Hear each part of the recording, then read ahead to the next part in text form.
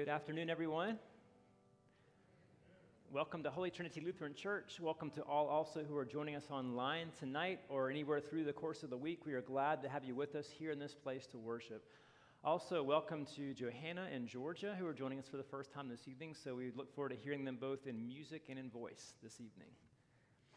Uh, I've got a few uh, announcements for us. Of course, this is week two now for Angel Tree. So if you haven't already picked up a gift for the Angel Tree, you can get that. That helps Cobb County foster children here in the area. There are a lot of people who picked up gifts already, so thank you so much for all those who have. And going along with the angel tree is also another tree in, the, this is all in the fellowship hall, God's global barnyard animal tree. So you can also, as an individual or a family, just pick up something like that to help. And this is for people across the world who may not otherwise have good, strong vocation opportunities where they are and it gives them a possibility for a better life. And so those animals are given, or the different things are given for them to help a more sustainable and full, whole living. Also, totals for the HT Christmas Challenge so far. We're just starting out. I wish I had more totals for you for Team Joe and Team Alice. This is, of course, you know, Team Property and Team Overall Ministry. If you remember from last week, we're trying to have that extra push the over and above giving between now and Christmas or between now and the year end uh, to help out with our, with our overall ministry. We have, now we still have other gifts that were in the box that have not been counted yet from last week, so this isn't really a total, this is a start. But Team Joe, $700. Team Alice, 720 some dollars, I think. So Team Alice is already a little bit ahead, but it is a very close neck and neck race. We have more gifts in the boxes that are already left too, so it probably, I would think, would be over a thousand by now. So probably 29 left to go between now and year end. The goal is 30,000 for each. So congrats for those who have started out. Uh, again, if you haven't yet, that can be part of tonight's offering too. Make sure to write on your checks, Team Joe or Team Alice. If you want to give cash, use the boxes, they're right there. And for those uh, online, if you want to be able to have an over and above your regular giving gift, just use Vanco, use that drop down menu, and put either Team Alice or Team Joe. And I did promise you last week, too, right? We'd have another announcement this week about something special you would love to have coming up. This is a creative idea for us to do to also help with this. So, we did mention last week, although over $10,000 was raised for the Untaste of Habitat, there really wasn't a taste of Habitat to happen in person this year. Well, cases have come down since that time, of course, from COVID. We're going to have on December 12th after worship as a lunch a taste of Holy Trinity. And so that's going to be our next thing with Team Joe and Team Alice. We're going to invite people to come and bring any kind of potluck kind of dish you'd like to have. Any free will offerings will go for either Team Joe or Team Alice. And then we'll also plan on having some, um, uh, some bidding for different things too. I know um, the Stephens have offered something, the other folks have offered something as well. So come bid, and all that will also go for our ministry here at Holy Trinity. So we'll have a fun time to be in fellowship together, to eat good food together on December 12th, to have that taste of Holy Trinity coming up. So if you have a creative idea of either a service or something you'd like to also auction and have be part of that taste of Holy Trinity, let Teresa Hodges or Debbie Chavez in our office know about that because we would love to add that to the list too of what we have as possible auction items for that day. But now, here we are in this place to worship. So let us stand together as we're able for this call to worship. This is the day that the Lord has made.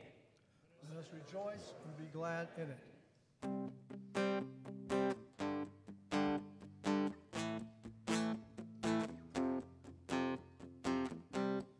Blessed be your name in the land that is plentiful, where the streams of abundance flow blessed be your name.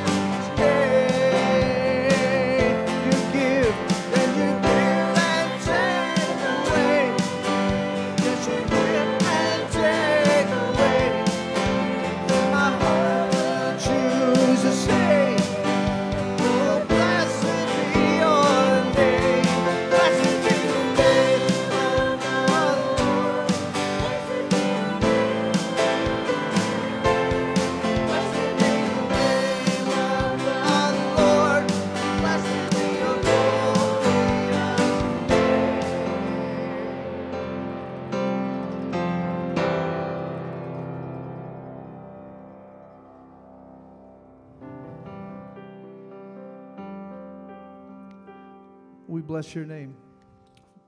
Father, we bless your name and we lift you up.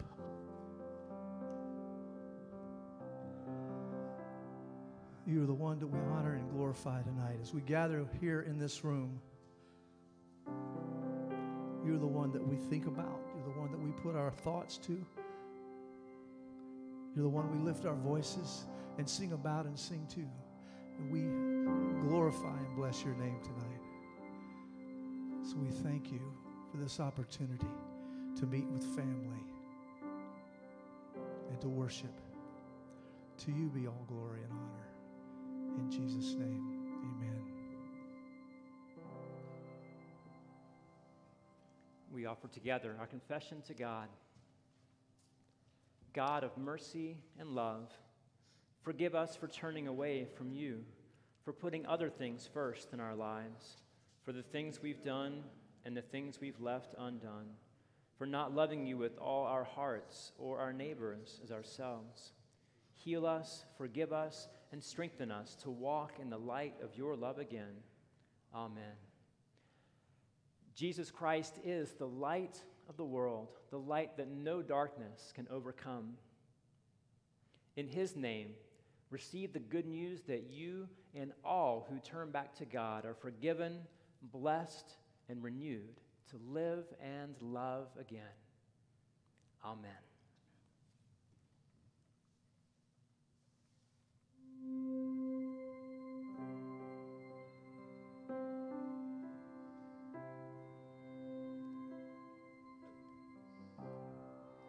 There's nothing worth more that will ever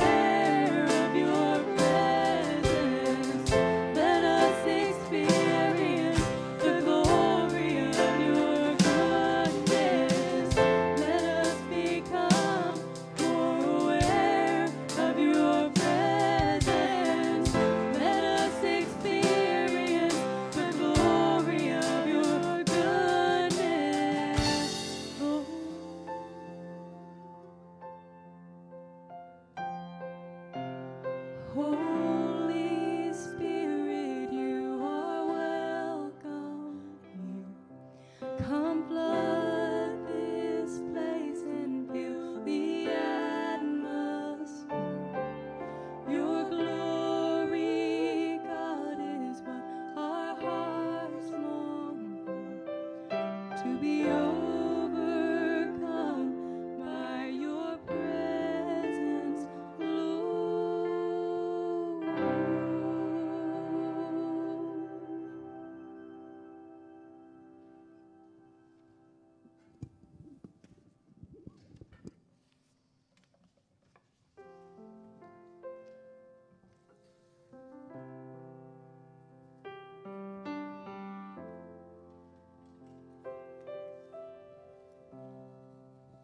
Tonight's reading is from John chapter 18.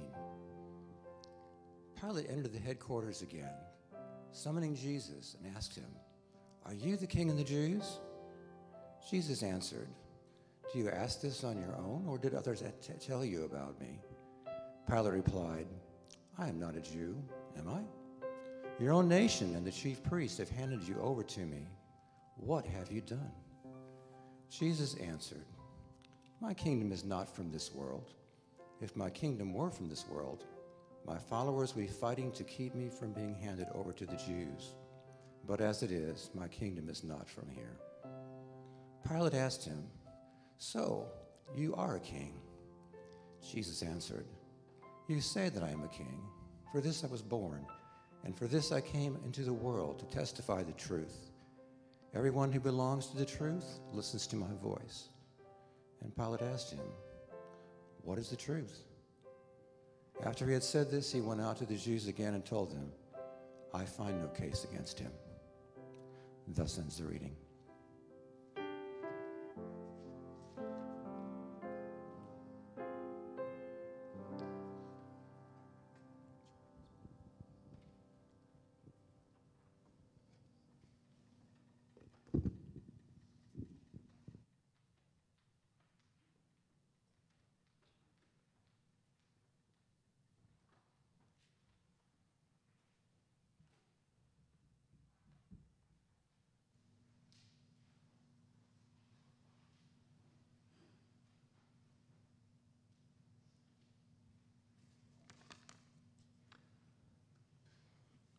So there was a bear at a 7 Eleven, and uh, actually, that might sound like a joke to start things with.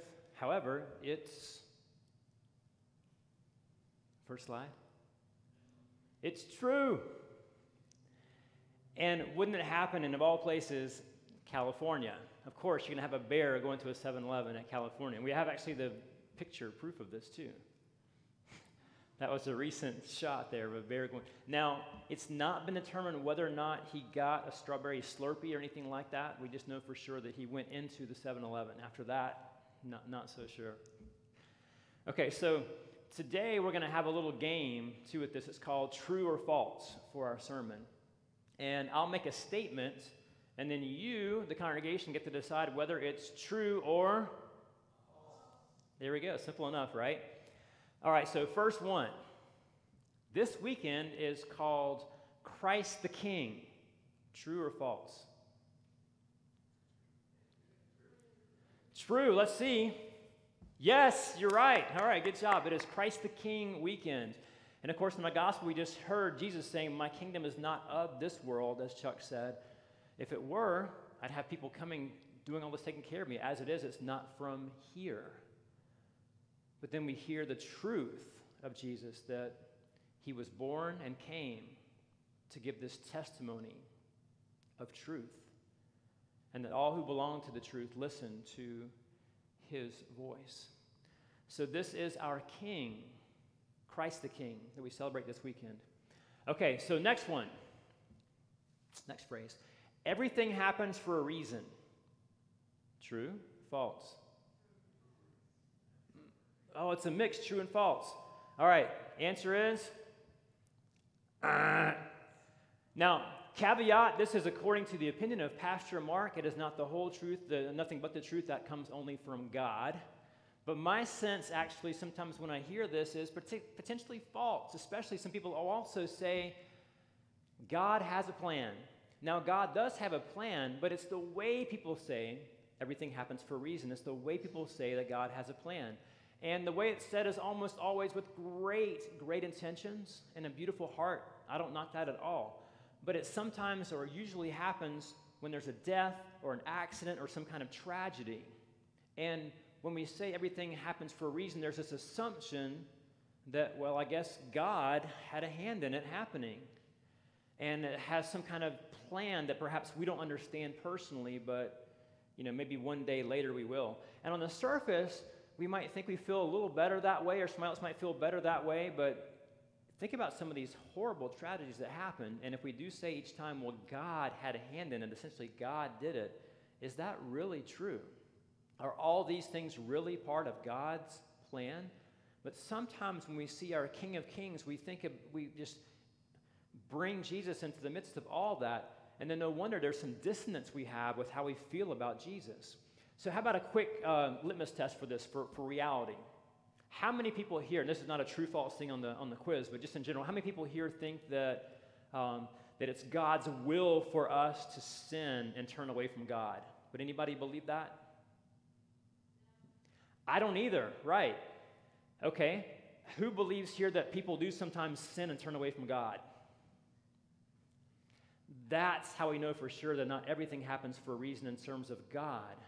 Because God's plan is not for sin, but sin happens all the time because of people. And people have cruelty and, and lack of perfection and selfishness and all these things that happen, and just plain accidents too. Sometimes it's just weird stuff, like a bear going into a 7 Eleven or some kind of other bizarre thing that just kind of happens. That happens in the midst of other things that perhaps very well may be God's will. So, why does that happen? Why does God let us sin? Why would the King of Kings, with all this power and authority as our King, let this terrible, awful sin happen, or even just let bears go into 7 Eleven? Why? Freedom. Yes, I heard freedom. If we don't have some degree of freedom, then there is not relationship. So imagine this King of Kings. It is the King who comes to free us. When we think of kings, we often think authority, rule, control, right? Our King, our blessed King, comes that we might be free and have more freedom than we possibly could have had, bound by our sin and bound by all we have on our own. Came to free us, but with that comes the risk. Like any good parent would have, a loving parent, when they risk letting their kids fly, and they might fall on the way. But if you really love them, you can't just keep them tied up safe in a closet or something like that, right? You've got to let them free bit by bit. And our loving God is a king of freedom. And so that's the big part about that. Who is our king? It is the king who frees us. And that's a wonderful, incredible gift, one of the greatest we could ever have. All right, so next in our list since God knows all, it's no big deal the stuff that happens to us now because God knows all the good news in the end, right? Is that true or false? I heard some false. Okay, answer is again false. Yes. God cares all the stuff that's going on with us in our lives, everything and all. And one of the probably one of the best examples of this, I believe, is a sermon that Pastor Bonnie had not too long ago about Lazarus and Mary and Martha and those who loved Lazarus. And what does Jesus do? Jesus knows he's going to bring Lazarus back from the dead. He knows it's about to happen. So he could just say, Oh, yeah, hang on, hang on, don't worry about it. I'm about to bring him back to life. Just don't, don't quit crying. Look, watch, watch what I'm about to do. But he doesn't do that, does he? He looks and sees Mary and sees Martha. And even though he knows he's going to bring Lazarus back, he is moved deeply in spirit, it says. And Jesus weeps. Why in the world would he cry, knowing that he's about to raise Lazarus from the dead and there'll be good news and joy all around?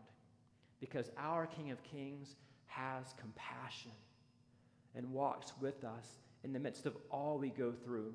He is not an elite king over and above us, too big and beyond all the things we have, all our joys, all our pains, all our struggles, even our day to day. Our King is a King of compassion who walks with us every step of the way and is, is with us each of those steps, a freeing compassionate king. All right, next one. Is Jesus, Christ the King, a passive victim? I mean, the Roman army got him, they tied him up, put him on the cross too, and all that. Is, is he a passive victim that just happened to him? Big false. Okay, let's see. Is it true or false? Yes, it is false again. Jesus talked about this death way ahead of time. You know how many times he foreshadowed? Talking about the temple, the temple being destroyed in three days, built again. And then when it came time to come to Jerusalem, he's the one leading the way with his disciples to Jerusalem, knowing what's going to happen. And even the idea of being brought up on the cross, too, imagine all that part of it. I think one of the easy texts that give us a good idea of what the possibilities are of what Jesus could have done if Jesus had so chosen is in Luke chapter 4, around verse 27 or so up to 30. It's back in his hometown, and things aren't going too well for Jesus for healing and other stuff right then. And, and there's just not resonance with them either. And in the synagogue, all of them are just, they're just raging. They have wrath against him, it says.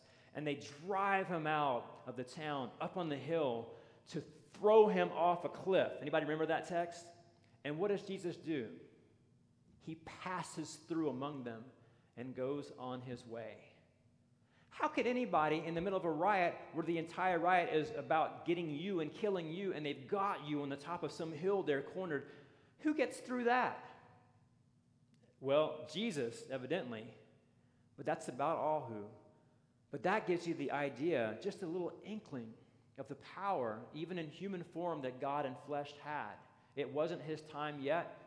He simply parted the way the people went through on his way, and that was it.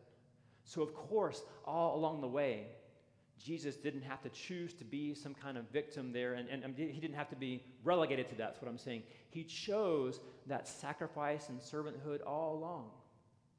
That means that we know for us, he freely chose to be a servant king, to be a sacrificial king for you and me. The king of freedom, the king of compassion, was also the king of service and sacrifice for the king's beloved. All right, one more here. Jesus, Christ the King, loves you more than this life itself. True or false? You guys are doing really good with this now, too. Yeah. And it is true. Yes.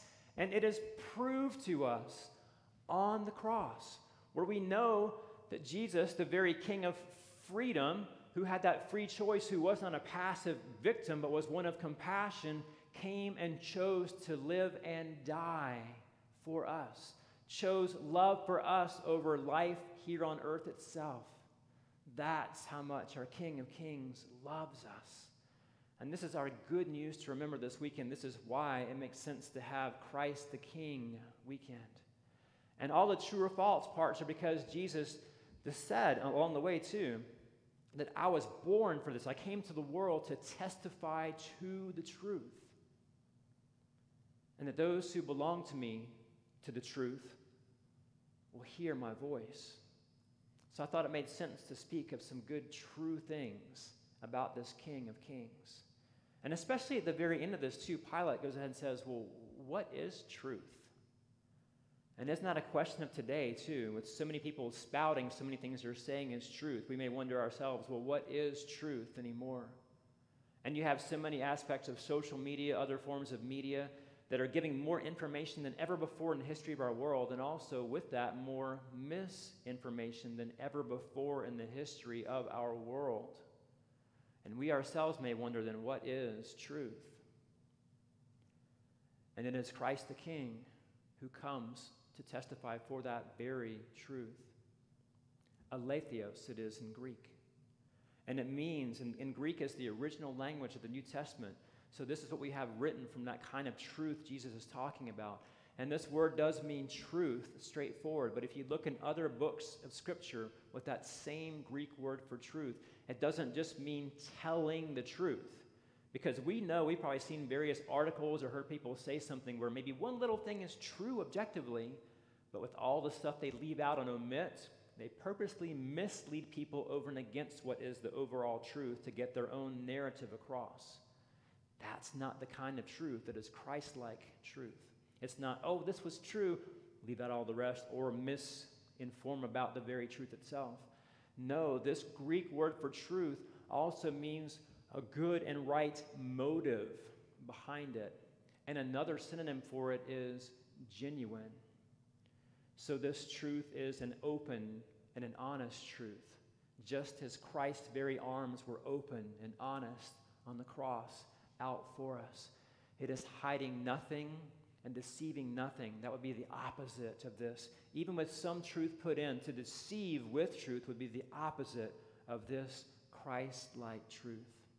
This is the one that we have. So thanks be to God this weekend and every weekend for the King of Kings who is our freeing, compassionate, sacrificial, serving, loving King that brings all truth to us. Christ is our Lord of Lords. Christ is our King of Kings. Christ is our truth. Thanks be to God. Amen.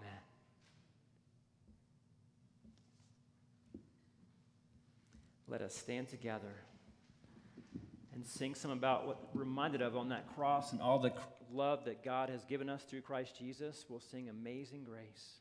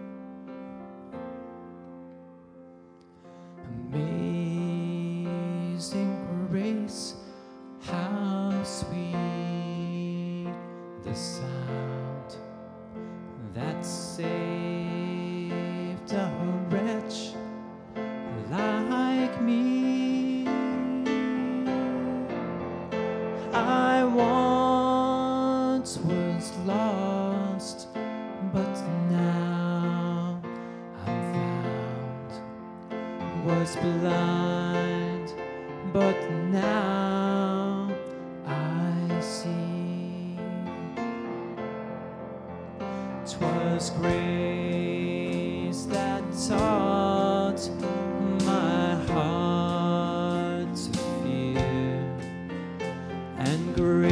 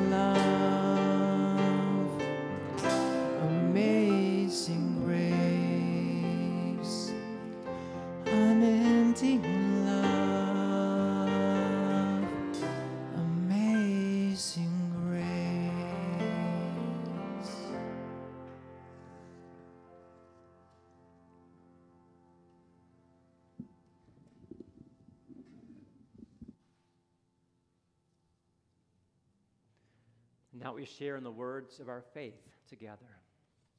I believe in God the Father, the Almighty and all powerful creator of heaven and earth. I believe in Jesus Christ, God's one and only Son, who was conceived by the power of the Holy Spirit, born of the Virgin Mary. I believe Jesus suffered at the hands of Pontius Pilate, was crucified, died, and was buried. He descended to the dead. Three days later, he rose again. He ascended into heaven, where he is seated at the right hand of God the Father. And one day he will return to judge the living and the dead. I believe in the Holy Spirit, the one holy church, the communion of saints, forgiveness of sins, the resurrection of the body, and the life everlasting. Amen. The peace of the Lord be with you always. And also with you. Let us share a sign of God's peace together. God's peace. Peace be with you. God's peace. Peace be with you. Peace be with you. Peace be with you. God's peace be with you. God's peace. You may be seated, and now we continue with our offerings. All we have and all we are first come as gifts from the Lord, from Christ our King, who gives us so much in love. So whether we give from holytrinitymarietta.org online or here in person, we give from what God has first given us. So let us respond in joy and thanksgiving as we receive our tithes and our offerings.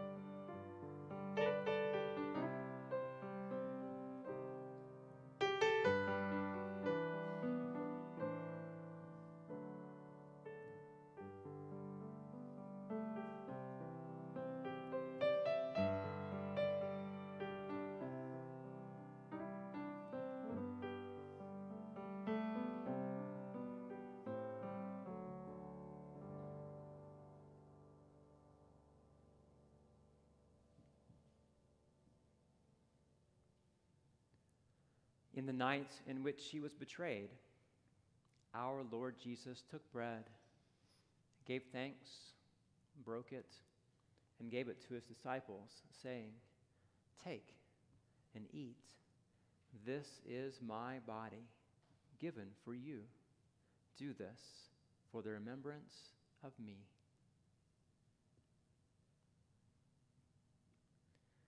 Again, after supper, he took the cup gave thanks and gave it for all to drink, saying, This cup is the new covenant in my blood, shed for you and for all people for the forgiveness of sins.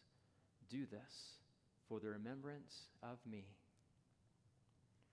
Lord, remember us in your kingdom and teach us together to pray.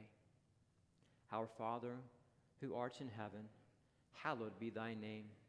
Thy kingdom come. Thy will be done, on earth as it is in heaven. Give us this day our daily bread, and forgive us our trespasses, as we forgive those who trespass against us. And lead us not into temptation, but deliver us from evil. For thine is the kingdom, and the power, and the glory, forever and ever. Amen. All are welcome to Christ's table. The meal is ready. Come. Let us eat together. Our ushers will safely invite you forward.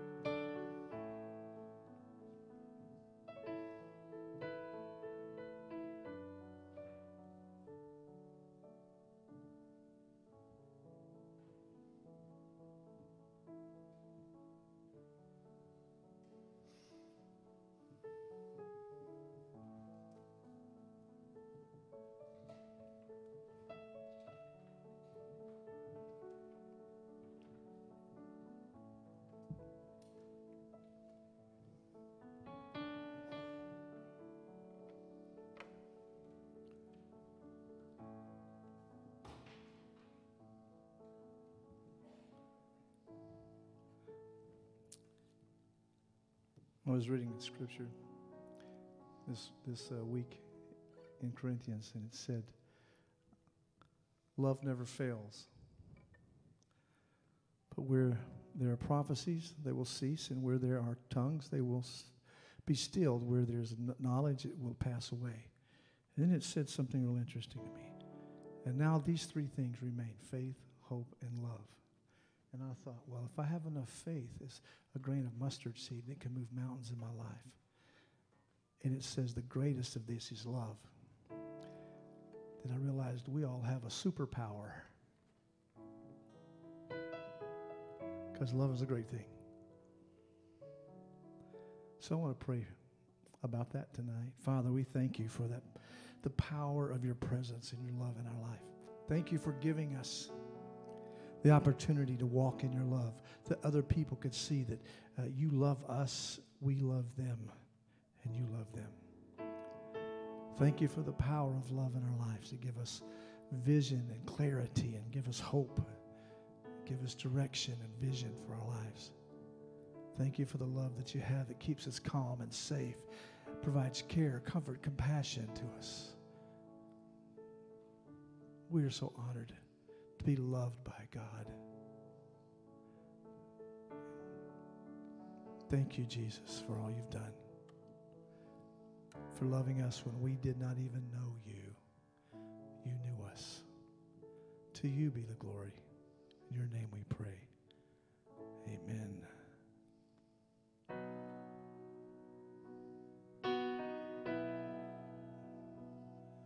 I can hear my Savior say, Thy strength indeed is small.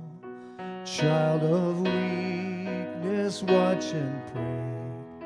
Find me in thy all in all. Cause Jesus paid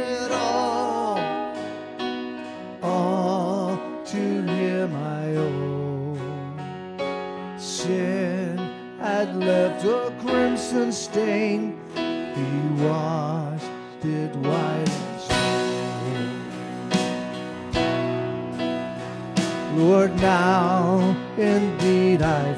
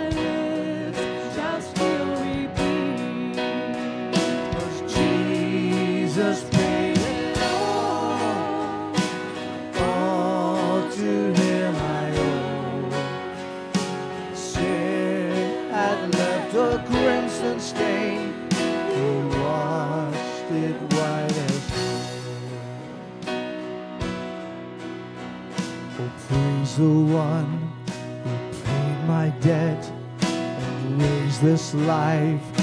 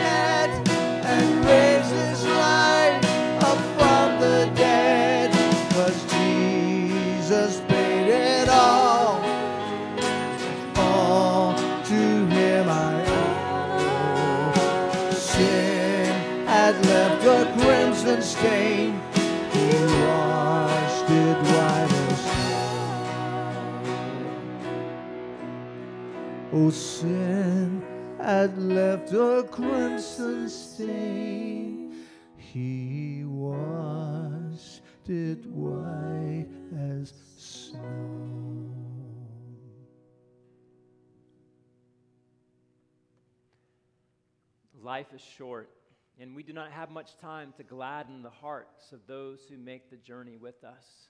So be swift to love, make haste to be kind, and may God Almighty, Father, Son, and Holy Spirit, Christ the King, who made us, who loves us, and who makes that journey with us, be with you now and forever. Amen. Cause Jesus paid it all, all to him I owe.